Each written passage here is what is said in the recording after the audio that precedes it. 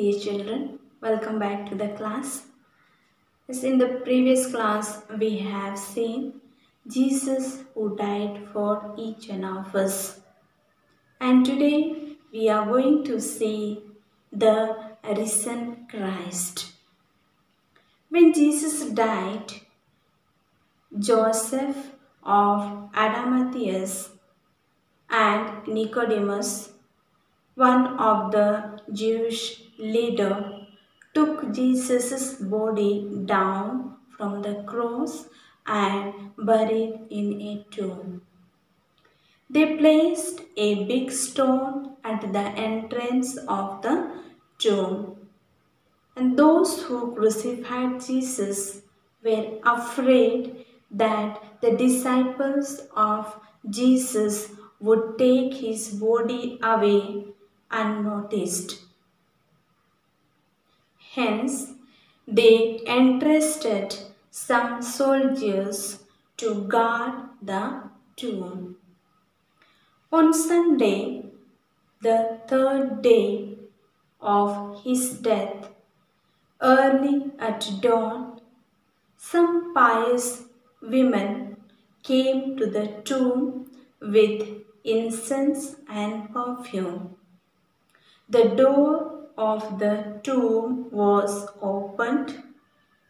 The woman and the women did not know what had happened. They saw an angel there. He said to them not to be afraid. He also said to them that he was not there and that he had risen. The angel asked the women to go quickly and tell the disciples of Jesus that Jesus is alive and that he will meet them very soon. The women were filled with great joy and excitement. They rushed to the disciples, but on their way, Jesus met them and the women worshipped him. They said to one another in excitement, He is alive! He is alive! The women shared the good news with the disciples, but the story sounded incredible to them. They could not believe they could not believe it to be true. But some of them rushed to the tomb to find for themselves if what they had heard was true. When they reached the tomb, they found an empty tomb just as the women had said. Jesus had appeared to Mary Magdalene as well.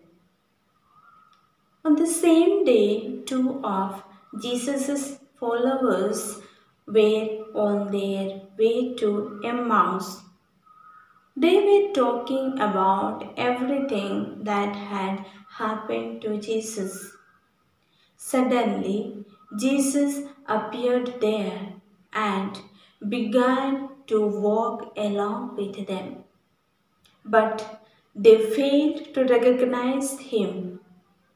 It was only at Last Supper when he took the bread and blessed it.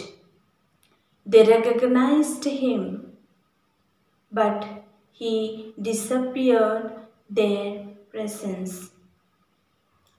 Later, Jesus appeared to his disciples too. He said to them, Peace be with you. The disciples were astonished and couldn't believe their eyes. He showed them the marks of the nails on his hands and feet. They were filled with joy and courage. He entrusted them the task to go to the whole world and proclaim the good news.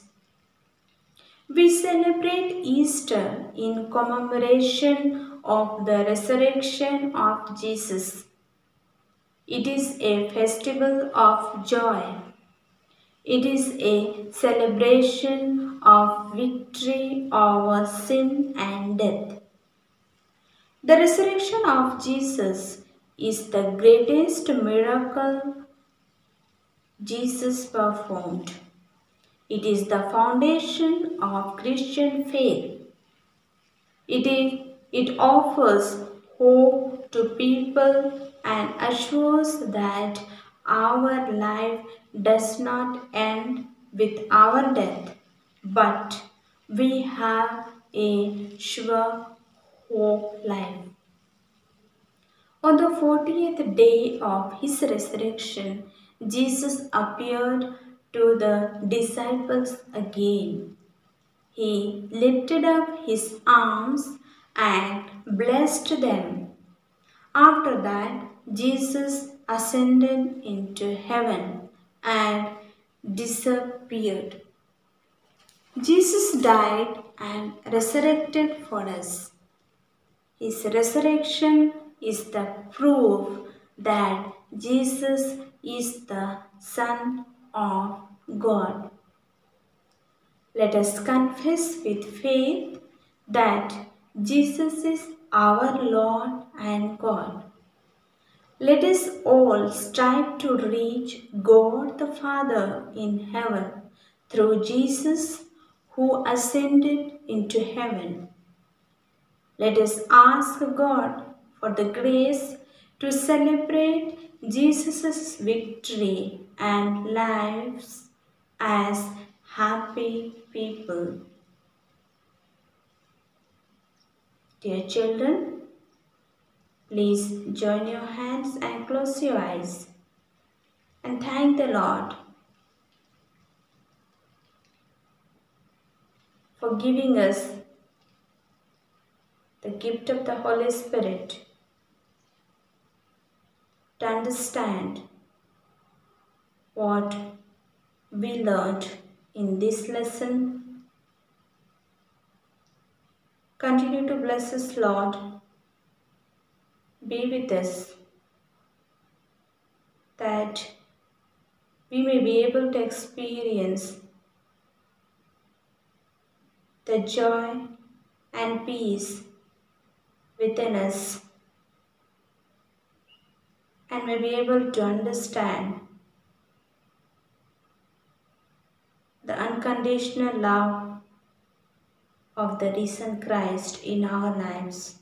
In the name of the Father, and of the Son, and of the Holy Spirit. Amen.